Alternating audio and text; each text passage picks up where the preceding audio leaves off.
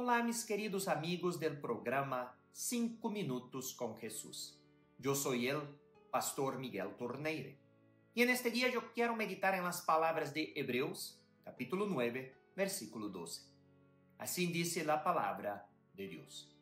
Y no por medio de la sangre de machos cabríos, ni de becerros, sino por medio de su propia sangre. Entró una sola vez y para siempre en el lugar santísimo y así obtuvo para nosotros la redención eterna. ¿Truco o trato? Esta es la pregunta clásica que hacen los niños disfrazados de brujas, vampiros y monstruos cuando salen a la calle en la tradicional fiesta de Halloween o Día de Brujas. Este festival marcaba el final de un ciclo en el calendario celta y también era un día de homenaje a los muertos.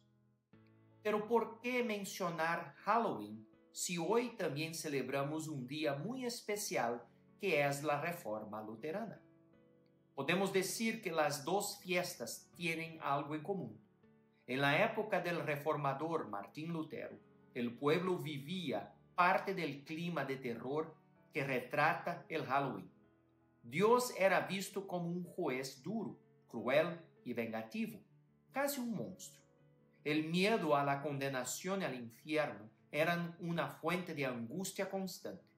Con este espíritu de temor, Lutero también caminaba por las calles preguntando, ¿dónde podemos encontrar un Dios misericordioso? ¿Cómo podemos obtener la salvación eterna? La fiesta de la Reforma marca el encuentro de Lutero con esta respuesta expresada también en la carta a los hebreos.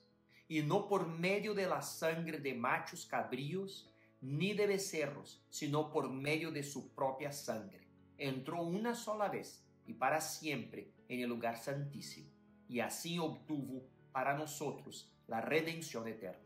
Hebreos capítulo 9, versículo 12. Este es el mensaje liberador profesado por la Reforma.